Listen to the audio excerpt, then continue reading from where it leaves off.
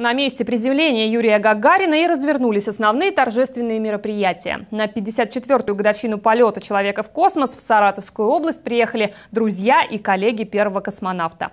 Как отметили праздник в этом году, расскажет Екатерина Ковальчук. В небе над Гагаринским полем показательные выступления парашютистов. Свой юбилейный шеститысячный прыжок мастер спорта СССР Валерий Кучер посвятил Юрию Гагарину. Говорит, несмотря на то, что уже несколько десятков раз прыгал над этой местностью, совершать прыжок в день космонавтики – большая ответственность. Приятно, что мне, например, доверили этот прыжок. Потому что тоже, опять-таки, не всех пустят сюда прыгать. Поэтому, раз мне доверили, я уже от этого только уже приятно мне.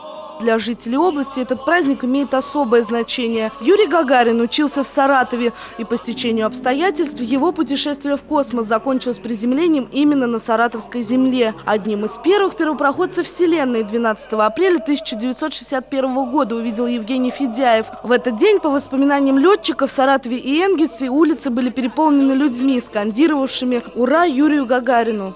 Все человечество радовалось, что это не, э, человек проник в неведомое. Э, он всегда стремился что-то познать.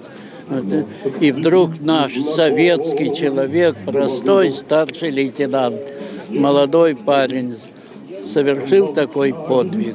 Все гордились этим. Я бы даже сравнил э, его подвиг с подвигом участников войны. Праздничные мероприятия на месте приземления Гагарина посетили несколько тысяч саратовцев. Шквал эмоций у зрителей вызвало пятиминутное выступление пилота вертолета Общества содействия армии и авиации.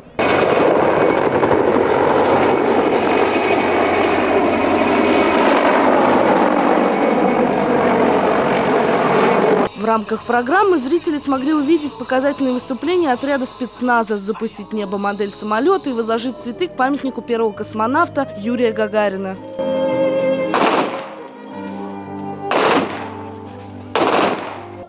Екатерина Ковальчук, Максим Пустовалов, РЕН-ТВ, Саратов.